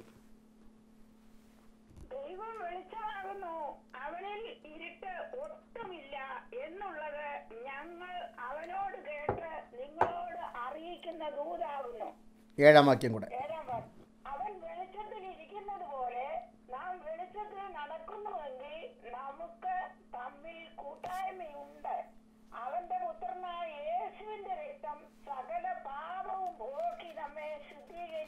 മതി സ്തോത്രം. യേശു എന്ന സത്യവെളിച്ചം അവൻ വെളിച്ചമാകുന്നു അവനിൽ ഇരുളൊട്ടുമില്ല ആ പുത്രന്റെ വെളിച്ചത്തിൽ കൂടെയാണ് നാം ഇരുട്ടിന്റെ അധികാരത്തിൽ നിന്ന് രക്ഷപ്പെട്ട് വെളിച്ചങ്ങളുടെ ദൈവമായ നമ്മുടെ ദൈവം വെളിച്ചങ്ങളുടെ ദൈവമാണ്. യാക്കോബ് ഓർപ്പിക്കുന്നു ഗതിഭേദത്താലുള്ള ആച്ഛാദനം വരാത്ത there is no shadow of turning നിഴൽ മാറ്റം ഉണ്ടാകാത്ത വെളിച്ചമാണ് യേശു. സൂര്യന് നിഴൽ നിഴലുണ്ട്. എന്തിനും നിഴലുണ്ട്. സൂര്യന് മറയായി എന്ത് വന്നാലും നിഴലായിട്ട് കടന്നു വരും പക്ഷെ ദൈവത്തിന് വെളിച്ചം നിഴലിയ സ്തോത്രമല്ല നിഴലായിട്ടൊന്നുമില്ല. അവിടെ വരികയാണ്. ആര് വന്നാലും അവനെ അവന് അഗ്നിജാലയ്ക്കൊത്ത കണ്ണുള്ളവനാണ്. അവന്റെ മുമ്പിൽ സകലവും നഗ്നവും മലർന്നവുമായിരിക്കുന്ന അത്രമാത്രം തീവ്ര വെളിച്ചമാണ്. സ്തോത്രം. അതുകൊണ്ടാണ് താൻ മാത്രം അമർത്യതയുള്ളവൻ. അടുത്തുകൂടാത്ത വെളിച്ചത്തിൽ വസിക്കുന്ന ദൈവം. അപ്പോൾ ആ ദൈവമാണ് വെളിച്ചങ്ങളുടെ ദൈവം. അപ്പം വിശുദ്ധ സ്ഥലത്തിന്റെ പ്രകാശം എന്തിനേറെ പറയുന്നു? ഒടുവിൽ നമ്മൾ ഈ മണ്ണ് വിട്ട് അക്കരെ നാട്ടിൽ ചെല്ലുമ്പോൾ വെളിപ്പാട് പുസ്തകം ഇരുപത്തൊന്നാം അധ്യായത്തിന്റെ നാല് മുതൽ താഴോട്ട് വായിക്കുന്നുണ്ടല്ലോ. അവിടെ സൂര്യ ചന്ദ്ര നക്ഷത്രങ്ങളില്ല. എവിടാ? നാം പോകുന്ന ശോഭയേകുന്ന പുത്തനാമെരുശിലേമിന്റെ പ്രകാശം. അല്ല സൂര്യന്റെയും ചന്ദ്രന്റെയും നക്ഷത്രങ്ങളെയും ശോഭയല്ല. അവിടുത്തെ വെളിച്ചം കുഞ്ഞാട് അതിന്റെ വിളക്കായിരിക്കും. വീതികളെയെല്ലാം പ്രകാശിപ്പിക്കുന്നത് യേശുവിന്റെ വെളിച്ചത്താലാണ്. അല്ലെ പുത്തനാമെരുശിലേമിന്റെ ശോഭ തിളങ്ങി നിൽക്കുന്നത് ആ വെളിച്ചത്തിലാണ് സ്തോത്രം. അതുകൊണ്ട് ക്രിസ്തു എന്ന വെളിച്ചമാണ് നമ്മുടെ ജീവിതത്തിൽ ശോഭിക്കേണ്ടത്. യേശു വെളിച്ചമായിരിക്കുന്ന പോലെ നിങ്ങൾ അവനെപ്പോലെ വെളിച്ചമുള്ളവരാണെങ്കിൽ നിങ്ങൾക്ക് തമ്മിൽ കൂട്ടായ്മയുണ്ട്. ഇല്ലെങ്കിൽ ഫെലോഷിപ്പ് ഇല്ലെന്നാണ് പറഞ്ഞ്. കൂട്ടായ്മ ഇല്ലെങ്കിൽ വെളിച്ചമായ ക്രിസ്തുവിനോട് ചേർന്ന് നടക്കുവാൻ നിങ്ങൾ താല്പര്യമില്ലെങ്കിൽ ആദമിനെ പോലെ ഒളിക്കാനാണ് നിങ്ങളുടെ ഉദ്ദേശമെങ്കിൽ ആദമിനെ പോലെ മറഞ്ഞിരിക്കാനാണ് നിങ്ങളുടെ തീരുമാനമെങ്കിൽ നിങ്ങൾക്ക് കൂട്ടായ്മയില്ല. ദൈവത്തിന്റെ വെളിച്ചം അതിഭയങ്കരമായ വെളിച്ചമാണ് അതിശക്തമായ വെളിച്ചമാണ്. സ്തോത്രം. അതുകൊണ്ടാണല്ലേ ആ വെളിച്ചം നമുക്കങ്ങോട്ട് സഹിക്കാൻ പറ്റാത്തത് കൊണ്ടാണ് ശലോമോനും ഒക്കെ ദേവാലയ സമയത്ത് പ്രാർത്ഥിക്കുന്നത് കൂരിരുളിൽ വസിക്കുന്ന ദൈവമേ. അവന്റെ വെളിച്ചം തട്ടിയവരാരും ദഹിപ്പിക്കുന്ന അഗ്നിയുടെ മുമ്പിൽ വന്നുപെട്ടവരാരും ഇതുവരെയും നേരെ നിന്നിട്ടില്ല. സീനായി മലയിൽ ഇടിമുഴക്കത്തിൽ ദൈവം തന്റെ തേജസ്സോടുകൂടി അഗ്നിസ്പർശനമായി ഇറങ്ങി വരുമ്പോൾ നീലക്കല്ല് പതിച്ച് അവന്റെ പാദപീഠം നാൽപ്പത് ദിവസം ഇരിക്കുന്ന മോശ പർവതം വിറയ്ക്കാൻ തുടങ്ങി പർവതം കുലുങ്ങാൻ തുടങ്ങി. ഒരു മൃഗമെങ്കിലും ഒരു മൃഗമെങ്കിലും അതിലെ മേഞ്ഞു നടന്നാൽ അതിനെ കല്ലെറിഞ്ഞ് കൊല്ലണമെന്നുള്ള കഠിന കൽപ്പന അതികഠിനമായിരുന്നു. നോക്കൂ അലളിയ ദൈവത്തിന്റെ ആ പ്രകാശത്തിൽ. ഇതേ പ്രകാശമല്ലേ നട്ടുച്ചയ്ക്ക് അലളിയ ശൗലെന്ന തീവ്രവാദ അലളിയ മത മത തീവ്രവാദിയുടെ കണ്ണിലേക്ക് മുഖത്തേക്ക് ആ വെളിച്ചം അടിച്ചപ്പോഴാണ് പാരമ്പര്യത്തിന്റെ പാരമ്പര്യത്തിന്റെ ആഡംബരം കൊണ്ടു നടന്ന അല്ല ദൈവമക്കളെ ആക്രമിക്കുവാൻ ഉപദ്രവിക്കുവാൻ കച്ചകെട്ടി ഇറങ്ങിയ മഹാപുരോഹിതന്റെ അധികാരപത്രം കയ്യിലുണ്ടായിരുന്ന ആ ശൗൽ ഹലേ ലൂയ ആ വെളിച്ചത്തിന്റെ മുമ്പിലാണ് ഞാൻ അതിഭയങ്കരമായൊരു വെളിച്ചം കണ്ടെന്നാണ് അഗ്രിപ്പ രാജാവിന്റെ മുമ്പിലൊക്കെ സാക്ഷ്യം പറയുമ്പോൾ നട്ടുച്ചയ്ക്ക് ഞാൻ അതിഭയങ്കരമായൊരു വെളിച്ചം കണ്ട് എന്റെ കണ്ണടിച്ചു പോയി ഹല്ലേ ലൂയ നോക്കൂ എത്ര ശക്തമായിരുന്നു ആ വെളിച്ചം. ആ വെളിച്ചത്തിലേക്ക് വരുവാനാണ് കർത്താവ് നമ്മെ വിളിച്ചിരിക്കുന്നത്. സ്തോത്രം. അതുകൊണ്ടാണ് ദൈവം നമ്മെ തിരഞ്ഞെടുത്ത വെളിച്ചത്തിന്റെ അധികാരത്തിന്റെ മക്കളാക്കി ദൈവം നമ്മെ തീർത്തിരിക്കുകയാണ്. അവിടുത്തെ സ്നേഹത്തിന്റെ കരം സ്നേഹത്തിന്റെ വെളിച്ചം നമ്മുടെ മേൽ പകർന്നു. അവിടുത്തെ കൃപയുടെ വെളിച്ചം നമ്മുടെ മേൽ പകർന്നു. സ്തോത്രം. നമുക്കറിയാവുന്ന വാക്യം ഒന്ന് വായിച്ചാട്ടെ ദൈവമക്കളെ. യശയാ പ്രവാചകന്റെ പുസ്തകം അറുപതാം അധ്യായം അതിന്റെ അല്ലിയ ഒന്നും രണ്ടും വാക്യങ്ങൾ ഷിയാവ് അറുപതിന്റെ ഒന്നും രണ്ടും.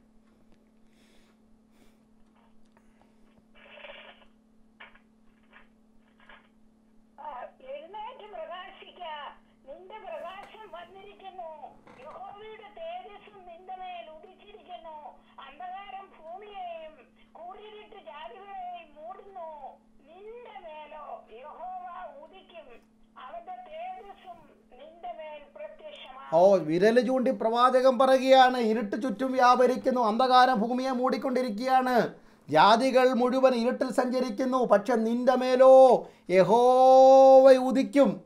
അവന്റെ തേജസ്സും നിന്റെ മേൽ പ്രത്യക്ഷമാകും. നമ്മുടെ വെളിച്ചം ക്രിസ്തുവിന്റെ വെളിച്ചമാണ് ദൈവമക്കളെ അല്ലെങ്കിൽ വചനത്തിന്റെ വെളിച്ചത്തിലാണ് നമ്മുടെ ശുശ്രൂഷ. നമ്മുടെ തേജസ് എന്ന് പറയുന്നത് ക്രിസ്തുവിന്റെ തേജസ്സാണ്. നമ്മളെ തിരഞ്ഞെടുത്തത് പോലും ആ തേജസ് പ്രാപിക്കാൻ വേണ്ടിയാണ്. എഫ് എസ് ലേഖനം ഒന്നാം അധ്യായത്തിന് ഇരുപത്തിനാലാം വാക്യം എല്ലാവർക്കും കാണാം സോറി ഒന്നിന്റെ നാലാം വാക്യം. അല്ലെങ്കിൽ ലോകസ്ഥാപനത്തിന് മുമ്പ് അവനിൽ വിശുദ്ധരും നിഷ്കളങ്കരും ആകേണ്ടതിനാണ് നിങ്ങളെ തിരഞ്ഞെടുത്തത്. സ്തോത്രം. റോമർ എട്ടിന്റെ ഇരുപത്തി ഒമ്പത് അതും കാണാതറിയാവുന്ന വാക്യമാണ്. ഇരുപത്തി എട്ടാണ് നമ്മുടെ അല്ലെങ്കിൽ ഫേവറേറ്റ് വാക്യം. ഇരുപത്തെട്ടാം വാക്യം. എന്തു വന്നാലും നമ്മൾ പ്രാർത്ഥിക്കുന്ന അഭിമാനം കൊള്ളുന്ന വാക്യമാണ്. ദൈവത്തെ സ്നേഹിക്കുന്നവർക്ക് നിർണയപ്രകാരം വിളിക്കപ്പെട്ടവർക്ക് സകലവും സകലവും നന്മയ്ക്കായി കൂടി വ്യാപരിക്കുന്നു. അത് പറഞ്ഞ് പ്രാർത്ഥിക്കാത്ത പാടാത്ത ഒരു പ്രാർത്ഥനയും പാട്ടും നമുക്കില്ല. കാരണം അത്രയും അഭിമാനമാണ് നമുക്കത് പറയുന്നത്. എല്ലാം എനിക്ക് നന്മയ്ക്കായിട്ട് വ്യാപരിക്കുന്നു. പക്ഷേ അതിന്റെ ഇരുപത്തിയൊമ്പതാം വാക്യം ഈ ദിവസങ്ങൾ എപ്പോഴോ പ്രസംഗത്തിൽ ഊന്നി പറഞ്ഞിരുന്നു. എങ്കിലും ഒരു പ്രാവശ്യം കൂടെ പറയുകയാണ് നമ്മെ തിരഞ്ഞെടുത്തത് യേശുവിന്റെ പ്രകാശം.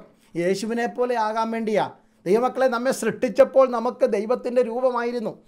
ഹാലലൂയ. ആദമും ഹവയും ദൈവത്തിന്റെ സ്വരൂപമായിരുന്നു. ദൈവത്തിന്റെ സാദൃശ്യമായിരുന്നു. അസൂയ മുഴുത്ത പിശാജ് സ്വർഗം നഷ്ടപ്പെട്ടവൻ സ്വർഗത്തിൽ പോകാൻ ആരെയും സമ്മതിക്കത്തില്ല. ഹാൽ അല്ലെങ്കിൽ എന്തോ വിരോധം. നമ്മൾ നമ്മൾ എന്താ എടുത്ത് പിശാജിന്റെ അടുത്ത്? പിശാജിന് നമ്മളോട് വിരോധം വരാൻ എന്ത് കാരണമാണ് ദൈവത്തോടുള്ള വിരോധം ദൈവ മക്കളോട് തീർക്കുന്നതാ. ക്രൈസ്തലോട് അത് സത്യം തിരിച്ചറിയണം. അല്ലാതെ നമ്മളല്ലേ എബ്രോൻ ചർച്ചിലെ അംഗങ്ങളായതുകൊണ്ടോ? കുറച്ച് പൈസ കൂടുതൽ കർത്താവിന്റെ വേലയ്ക്ക് കൊടുത്തുകൊണ്ടോ നിങ്ങൾ നല്ല ആരോഗ്യത്തോടെ നടക്കുന്നതുകൊണ്ട് എന്തോ ഒന്ന് നമ്മളോട് അസൂയ. ഇയോവിനെ ആടുണ്ടതും അല്ലെ ആ കാളയുള്ളതും മക്കളുള്ളതും അല്ലല്ലോ അവന്റെ വിഷയം. വെറുതെയോ അവൻ ഭക്തി മുറുകെ പിടിക്കുന്നത്. അതാ പ്രശ്നം. നിങ്ങൾ ദൈവത്തോടുള്ള ഭക്തി മുറുകെ പിടിക്കുന്നു. ദൈവഭയം കളഞ്ഞു കുളിച്ച പിശാജ് വേറെ ആരും ദൈവത്തെ സ്നേഹിക്കാനോ ഭയപ്പെടാനോ ഇഷ്ടപ്പെടുന്നില്ല. ദൈവസന്നിധിയിൽ നിന്ന് ആട്ടപ്പെട്ടവൻ വേറെ ആരും ദൈവസന്നിധി നിൽക്കുവാൻ താല്പര്യപ്പെടുന്നില്ല. ദൈവത്തെ ആരാധിച്ചവൻ ചിറകുവിടർത്തി പറന്ന കെരൂപ്. ഇമ്പഗാനങ്ങൾ പാടിയവൻ. അതിൽ നിന്ന് മാറ്റപ്പെട്ടപ്പോൾ വേറെ ആരും പാട്ടുപാടുന്നത് വേറെ ആരും സ്തോത്രം ചെയ്യുന്നത് ഇഷ്ടമല്ല. ഇതിന്റെയൊക്കെ കേസ് നിങ്ങളോടല്ല വിരോധം ദൈവത്തോടാണ്. ദൈവത്തോടുള്ള വിരോധമാണ് നമ്മോട് തീർക്കുന്നത്. ദൈവത്തിന്റെ അടുക്ക് തീർക്കാൻ പറ്റത്തില്ലല്ലോ. ആ വിരോധവും നമ്മളോട് തീർക്കുന്നത്. ഈ സത്യം തിരിച്ചറിഞ്ഞാൽ പിന്നെ നമുക്ക് അല്ലെങ്കിൽ പിശാദിനോട് അല്ലെങ്കിൽ ഉള്ള വിരോധമൊക്കെ മാറിയിട്ട് നമ്മൾ അവന്റെ കാര്യം അങ്ങ് വിട്ടിട്ട് ദൈവത്തെ ആരാധിക്കാൻ തുടങ്ങും. അവന്റെ അസൂയോ ദൈവമായിട്ടുള്ള വിഷയമാണ് അത് എന്റെ മണ്ട കൊണ്ട് തീർക്കുന്നത്. ഞാനിതിനകത്തൊന്നുമില്ലേ? ദൈവത്തെ ആരാധിക്കും. ഞാൻ ഇനി ആരാധിക്കും. അപ്പോൾ ഇയോവിന്റെ ആടും മാടും ഒട്ടകവും കാളയും കഴുതയും കൽതേറി പിടിച്ചുകൊണ്ട് പോകുവാനും അല്ലെങ്കിൽ ഈ കൊടുങ്കാറ്റടിച്ച് സകലവും തകരാനും ഒന്നും കാരണം ഇയോവിന് ഇതെല്ലാം ഉണ്ടായിട്ടല്ലെന്നേ. എത്രയോ പേര് ആ നാട്ടിൽ അതൊക്കെ ഉള്ളവരുണ്ടായിരുന്നു. എത്രയോ പേർക്ക് ആ സമ്പത്തുണ്ടായിരുന്നു. അവരോട് ആരോടും വിരോധമില്ലല്ലോ. പക്ഷേ ഒരു ദൈവ ഭക്തിയുടെ അടിസ്ഥാനം ദൈവം ഇതെല്ലാം കൊടുത്തതാണെന്ന് പറഞ്ഞതുകൊണ്ട് ദൈവവുമായിട്ടുള്ള ബന്ധത്തിൽ നിന്ന് നിങ്ങളെ അകറ്റി മാറ്റുവാൻ സ്തോത്രം വെളിച്ചത്തിൽ നിന്ന് നിങ്ങളെ മുറിച്ചു കളയുവാൻ ശ്രമിക്കുമ്പോൾ ഇന്ന് രാത്രികാലം തിരിച്ചറിയണം ഞങ്ങൾ ആ വെളിച്ചത്തിൽ നടക്കും. ഞങ്ങളുടെ സകല വെളിച്ചവും ക്രിസ്തുവിൽ കൂടെയാണ്. സ്തോത്രം. ഇനിയും ദൈവവചനം പ്രമാണിച്ചെങ്കിൽ മാത്രമേ നമുക്കും പ്രകാശം കിട്ടത്തുള്ളൂ. അതല്ലേ നമ്മൾ വായിച്ചത് എട്ടിന്റെ ഇരുപത്തൊമ്പത് ഇങ്ങനെ വായിക്കുന്നത് നമ്മൾ എന്തിനാ? മുന്നറിഞ്ഞവരെ അവൻ തന്റെ പുത്രൻ അനേക സഹോദരന്മാരിൽ ആദ്യ ആദ്യജാതനാകേണ്ടതിന് അവന്റെ സ്വരൂപത്തോട് അനുരൂപരാകുവാൻ മുൻ നിയമിച്ചിരിക്കുന്നു. സ്തോത്രം. അങ്ങനെ മുൻ നിയമിച്ചവരെ മുപ്പതാം വാക്യം വിളിച്ചും വിളിച്ചവരെ നീതീകരിച്ചും നീതീകരിച്ചവരെ തേജസ്കരിച്ചുമിരിക്കുന്നു. സ്തോത്രം. റോമാലേഖനത്തിന്റെ കാതലായ വിഷയമാണ്. അലലിയ റോമാലേഖനത്തിലെ അലലിയ ദൈവത്ത ദൈവശാസ്ത്രത്തിന്റെ ഏറ്റവും ശ്രേഷ്ഠകരമായ ഉപദേശമാണ് അവൻ വിളിച്ചവരെ നീതീകരിച്ചു. നീതീകരിച്ചവരെ അലളിയ സ്തോത്രം അലലിയ തേജസ്കരിച്ചു. നമ്മുടെ ജീവിതത്തിൽ വന്നിരിക്കുന്നതെല്ലാം കർത്താവ് നമ്മുടെ പാപത്തിന്റെ ശിക്ഷ മാറ്റി വിശുദ്ധീകരണം നമുക്ക് തന്ന്. നമ്മെ നീതിമാന്മാരെന്ന് മുദ്ര കുത്തി നമ്മെ തേജസ്കരിക്കാൻ വേണ്ടി ഒരുങ്ങിയിരിക്കുക. നമ്മളെല്ലാവരും ആരായി മാറണം? ആദ്യജാതനായ പുത്രനായി മാറണം. ഏകജാതനായിരുന്നു. യേശു എന്ന ഏകജാതൻ വേറെ അനിയന്മാരൊന്നും ഇല്ല ആ കുടുംബത്തിൽ. അങ്ങനെ ഇരിക്കുമ്പോഴാണ് ആ ജീവൻ കൊടുത്ത് എന്നെയും നിങ്ങളെയും ആ കുടുംബത്തിലേക്ക് ചേർത്തത്. ദൈവ കുടുംബത്തിലെ അംഗങ്ങളാക്കി മാറ്റിയപ്പോൾ യേശു ജ്യേഷ്ഠ സഹോദരനായി മാറി.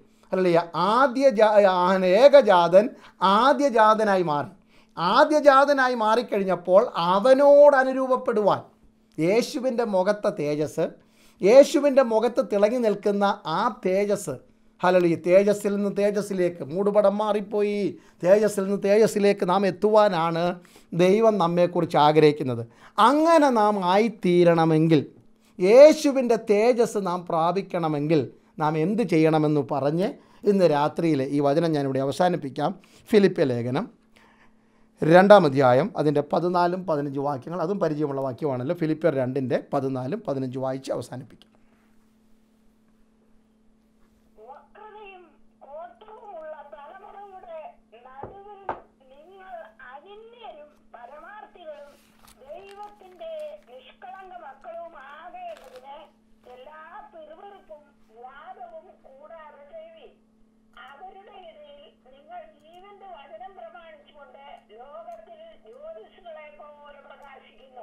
പോസ്റ്റനായ പൗലോസ് ഫിലിപ്പിനോട് പറയുകയാണ് ഫിലിപ്പിനെ ഞാൻ നിങ്ങൾക്ക് വേണ്ടി പ്രാർത്ഥിച്ചുകൊണ്ടിരിക്കുക. തടവിലാ കിടക്കുന്നെങ്കിൽ എനിക്ക് പ്രാർത്ഥനയൊന്നും മുടക്കാൻ പറ്റത്തില്ല. ഞാൻ പ്രാർത്ഥിക്കുന്നതിന്റെ പിന്നിൽ ഒത്തിരി കാര്യങ്ങളൊക്കെ ഉണ്ട്. കാര്യങ്ങൾ ഇതൊക്കെയാണ്. നിങ്ങൾക്ക് ക്രിസ്തുവിലുള്ള ഭാവം ഉണ്ടാകണം. അതാണല്ലോ രണ്ടിന്റെ അഞ്ച് മുതൽ തുടങ്ങുന്നത്. ക്രിസ്തുവിലുള്ള ഭാവം ഉണ്ടായിട്ട് ആ താഴ്മയും വിനയും ഒക്കെ ഉണ്ടായി നിങ്ങൾ ദൈവത്തിന്റെ അല്ലിയ നാമത്തെ അറിയുന്നവരായി മാറണം. അങ്ങനെ അറിഞ്ഞ് നിങ്ങൾ വരുമ്പോൾ സ്തോത്രം പതിനാലാം വാക്യത്തിൽ പറയാണ് നിങ്ങൾ ഇപ്പോൾ ആയിരിക്കുന്ന ഈ തലമുറയുണ്ടല്ലോ. ഇത് ഒരു വിക്കഡ് ജനറേഷനാണ് സ്തോത്രം. ഇതൊരു ക്രുക്കഡ് ജനറേഷനാണ് പെർവേഴ്സ് ജനറേഷനാണ് എന്ന് പറഞ്ഞാൽ വക്രതയാണ്. നേരെ ചൊവ്വ ഒരു കാര്യം ചെയ്യത്തില്ല. നാക്കെടുത്താൽ സത്യം പറയത്തില്ല. വളഞ്ഞ വഴി കൂടെ കാര്യം സാധിക്കണം. കുറുക്ക് വഴിയാണ് പെട്ടെന്ന് എന്തും പെട്ടെന്നാകണം. ഓവർ നൈറ്റ് കൊണ്ട് അപ്പോസ്തനാകണം എല്ലാ മലളിയ ഒരു ചിട്ടപ്രകാരം ഒന്നും ചെയ്യത്തില്ല. ഒരു ഡിസിപ്ലൈൻ ഒരു ഡിസിപ്ലിൻഡ് ലൈഫ് ഒരു ശിഷ്യത്വം. ഇരുന്ന് പഠിക്കാൻ സമയമില്ല കുറുക്ക് വഴി എവിടെ ഉണ്ടോ പെട്ടെന്ന് പെട്ടെന്ന് പെട്ടെന്ന് എല്ലാം കിട്ടാൻ അത് ആത്മീയ ലോകത്തിലുണ്ട്. ഇനിയും രണ്ട് മിനിറ്റേ ഉള്ളതുകൊണ്ട് ഞാൻ അത് പറഞ്ഞ് സമയം കളഞ്ഞ് അല്ലെങ്കിൽ ഇപ്പോൾ തല പോയിരുന്നില്ല കുറുക്ക് വഴിയുള്ള ഒരു തലമുറയുടെ നടുവിൽ നിങ്ങൾ ആരായിരിക്കണം? നിങ്ങൾ അനിന്യരായിരിക്കണം. സ്തോത്രം. അനിന്യരായിരിക്കണം. പരമാർത്ഥികളായിരിക്കണം. പരമാർത്ഥികൾ. സ്തോത്രം. ദൈവത്തിന്റെ നിഷ്കളങ്ക മക്കളായിരിക്കണം. പീപ്പിൾ എബവ് ദ റിപ്രോച്ച് മറ്റുള്ളവരെ അപവാദം പറയുവാൻ നിന്നു കൊടുക്കാതെ അപവാദം പറയും. നല്ല തിന്മ കളവായി പറയുവാൻ പോലും അവസരം കൊടുക്കാത്ത ആത്മീയം കാഴ്ചവെക്കണം. ബ്ലെയിംലെസ് ആൻഡ് ഹാംലെസ് സ്തോത്രമല്ലിയ നിങ്ങൾ നിഷ്കളങ്കരായിരിക്കണം. പരമാർത്ഥികളായിരിക്കണം. അനന്യരായിരിക്കണം. പാപത്തിന്റെ ഇച്ഛകളിൽ നിന്ന് ജയിച്ചവരായിരിക്കണം. പാപമോഹത്തെ വലിച്ചെറിഞ്ഞവരായിരിക്കണം. ഹൃദയത്തിനകത്ത് സത്യമുണ്ടായി ഹൃദയപൂർവം സത്യം. പരമാർത്ഥികളായിരിക്കണം. പിന്നെ ദൈവത്തിന്റെ നിഷ്കളങ്ക മക്കൾ. ദൈവത്തിന്റെ നിഷ്കളങ്ക മക്കൾ. Sons of God without rebuke സ്തോത്രം. മറ്റുള്ളവരുടെ മുമ്പിൽ നീയാണോ എന്ന് ചോദിക്കുവാൻ അവസരം കൊടുക്കാത്ത നീയാണോ ദൈവദാസൻ എന്ന് ചോദിക്കുവാൻ അവസരം കൊടുക്കാത്ത നടപ്പും ജീവിതവും ഇടപാടുകളും നോട്ടവും ചിന്തയും ദൈവം മുമ്പാകെ ലോകത്തിന്റെ മുമ്പാകെ ദൈവനാമ മഹത്വത്തിനു വേണ്ടി ചെയ്യുന്നവരായിരിക്കണം. ഇനിയും എല്ലാം പിറുപിറുപ്പും വാദവും കൂടാതെ ചെയ്യണം. എന്തെങ്കിലും ചെയ്താൽ അല്ല പിറുപിറുത്തോണ്ട് ചെയ്യരുത്. വർക്ക് തർക്കിച്ചുകൊണ്ടും ചെയ്യരുത് വാദിച്ചുകൊണ്ട് തർക്കിച്ചുകൊണ്ടും ചെയ്യരുത് വാദിച്ചുകൊണ്ടും ചെയ്യരുത്. സ്തോത്രം. വഴക്കുണ്ടാക്കിക്കൊണ്ട് ഒരു കാര്യം എന്തിനാ സാധിക്കുന്നത്? വിട്ടുകളഞ്ഞ പൗലോസ് പറഞ്ഞല്ലോ തർക്കങ്ങൾ ഉപദേശ വിഷയമാണേലും നിങ്ങളുടെ ഇടയിൽ തർക്കത്തിന് ഞാനില്ല. എനിക്കിവിടെ ആരുടെ മുമ്പിൽ ജയിച്ചു കയറണ്ട? ആരുടെ മുമ്പിൽ അലളിയ ഞാൻ വലിയ ആളാണെന്ന് ഞാനങ്ങ് മാറി തന്നേക്കാം ഒഴിഞ്ഞു തന്നേക്കാം. തർക്കിച്ച് ജയിക്കാൻ ഞാനില്ല. ഒരു പക്ഷെ പറയുന്നത് സത്യമായിരിക്കാം. പക്ഷെ തർക്കമുണ്ടാക്കി കലഹമുണ്ടാക്കി രണ്ടായി പിരിയുവാൻ ഞാനില്ല. പിറുപിറുപ്പും വാദവും കൂടാതെ ചെയ്യുവിൻ. അങ്ങനെ നിങ്ങൾ ചെയ്താൽ അവരുടെ ഇടയിൽ നിങ്ങൾ എന്ത് ചെയ്യണം? ഈ പിറുപിറുക്കാതെ തർക്കിക്കാതെ വാദിക്കാതെ അനിന്യരായി പരമാർത്ഥികളായ നിഷ്കളങ്ക മക്കളാകുന്നതിന് ജീവന്റെ വചനം അങ്ങോട്ട് പ്രമാണിച്ചാൽ മതി. സ്തോത്രം. ജീവന്റെ വചനം.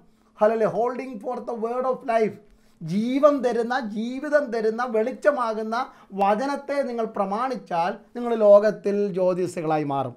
അവരുടെ നടുവിൽ you are gone to shine like a light അലലുയ്യ ഒരു വെളിച്ചമായി മാറുവാൻ ഇന്ന് രാത്രി വിശുദ്ധ സ്ഥലത്തേക്ക് പ്രവേശിക്കുന്നവർ ജീവിതം പ്രകാശിപ്പിക്കണം. നാല് പേര് കാണുമ്പോൾ ഹലലുയ്യ വിരൽ ചൂണ്ടി കാണിക്കുവാൻ ഇല്ലാത്ത ഒരു ആത്മീയ ജീവിതം കാഴ്ചവെക്കണം. അതിന് വചനത്തിന്റെ വെളിച്ചത്തിൽ നടക്കണം. വരുവിൻ നമുക്ക് വെളിച്ചത്തിൽ നടക്കാമെന്ന് പഴയ പ്രവാചകൻ ദൈവരാജ്യത്തിന് വേണ്ടി നിങ്ങളെ വിളിക്കുന്നത് പോലെ ഇന്ന് രാത്രി നമുക്കും വെളിച്ചത്തിൽ നടക്കണം. വെളിച്ചത്തിൽ നടക്കണമെങ്കിൽ വചനം പ്രമാണിക്കണം. അതുതന്നെയാണ് ഈ ദിവസങ്ങളിൽ ആവർത്തിച്ച് ആവർത്തിച്ച് ദൈവവചനം പ്രമാണിക്കുന്നതിനെക്കുറിച്ച് ഞാൻ ഊന്നി പറയുന്നതിന്റെ കാരണം സത്യമായി വചനം പ്രമാണിക്കണം. പ്രസംഗങ്ങൾ ഇഷ്ടം പോലെ കേൾക്കുകയാണ്. ഇഷ്ടം പോലെ പ്രസംഗങ്ങളാണ്. എവിടെ നോക്കിയാലും പ്രസംഗമാണ്. പക്ഷേ അതിനകത്ത് വചനം ഉണ്ടായിരിക്കും. അതുകൊണ്ട് വചനം പ്രമാണിക്കണം. വചനം പ്രമാണിച്ച് നിങ്ങൾക്കും ജ്യോതിസുകളായി മാറാൻ കഴിയും. അങ്ങനെ വിശുദ്ധ സ്ഥലത്തിലേക്കുള്ള നമ്മുടെ പ്രവേശനം. ആ പ്രവേശിക്കുമ്പോൾ ആദ്യമേ ചെയ്യുന്നത് നിലവിളക്ക് കൊളുത്തുകയാണ്. കർത്താവിന്റെ വരവ് താമസമെങ്കിൽ നാളെ നമുക്ക് നിലവിളക്കിന്റെ നിർമ്മാണത്തെക്കുറിച്ച് നിർമ്മാണ രീതികളെക്കുറിച്ച് പഠിക്കുവാൻ കർത്താവ് നമ്മെ സഹായിക്കട്ടെ. വചനം കേട്ട എല്ലാവരുടെ മേലും കർത്താവിന്റെ സാന്നിധ്യവും സാമീപ്യം ഉണ്ടായിരിക്കുമാറാകട്ടെ. ദൈവം നിങ്ങളെ ധാരാളമായി അനുഗ്രഹിച്ച് ആശീർവദിക്കുമാറാകട്ടെ.